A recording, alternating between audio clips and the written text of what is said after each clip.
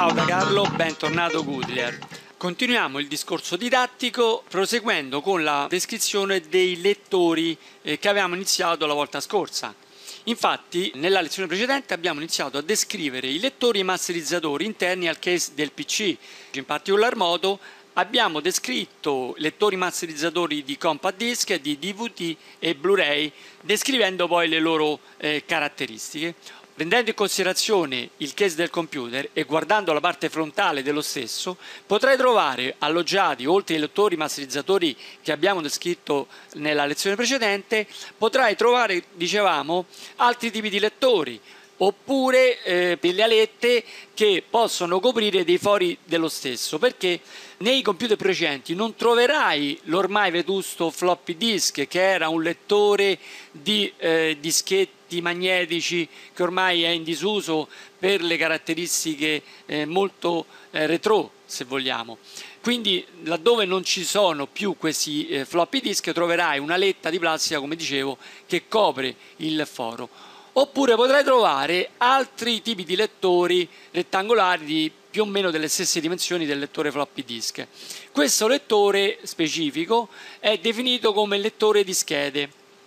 Cos'è un lettore di schede? Beh, è semplicemente un'interfaccia che permette di collegare, inserire all'interno del, dello stesso una tipologia di schede che eh, ora più che mai rappresentano delle forme di memoria di massa altamente performanti che permettono di implementare le capacità di memorizzazione di vari dispositivi.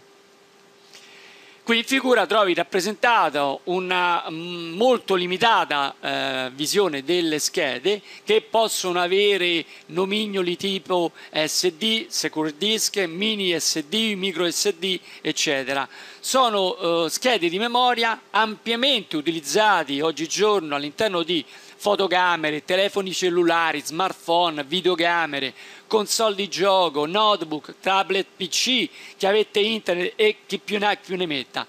Tutto per aumentare le loro caratteristiche di memorizzazione.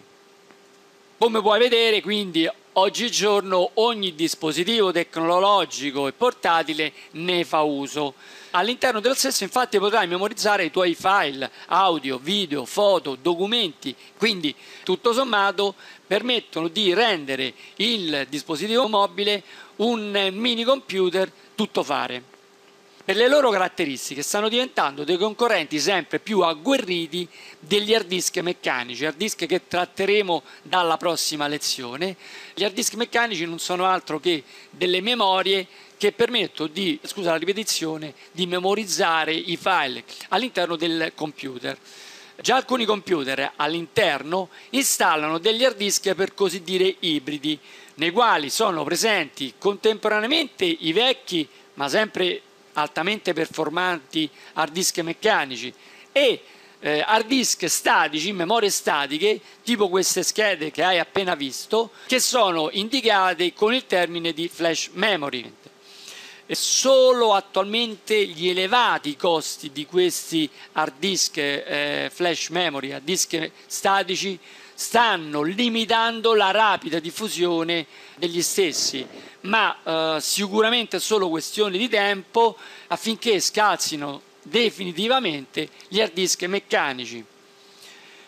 I tablet PC, ad esempio, eh, per intenderci, sono delle tavolette tipo eh, iPad della Apple la stessa iPad, montano esclusivamente delle memorie statiche, quindi queste flash memory.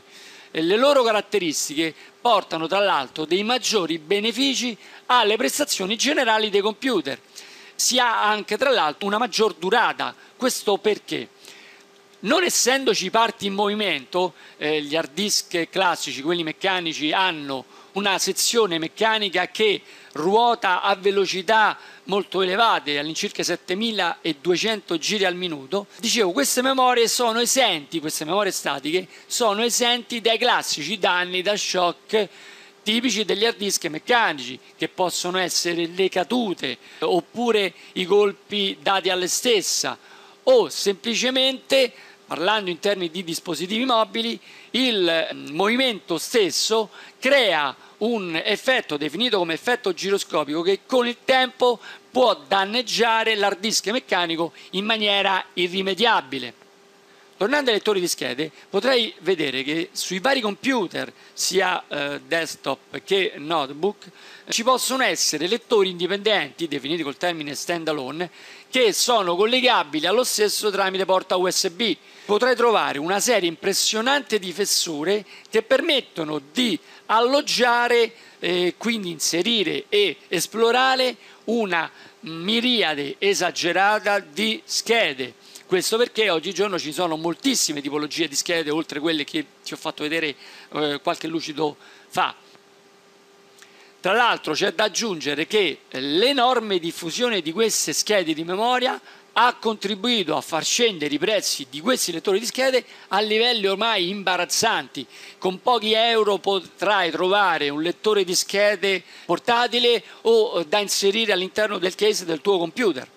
Bene, nella prossima lezione inizieremo a descrivere i dischi rigidi, definiti con il termine hard drive o hard disk, che sono la capacità di memoria più grossa oggigiorno esistenti all'interno dei PC e notebook.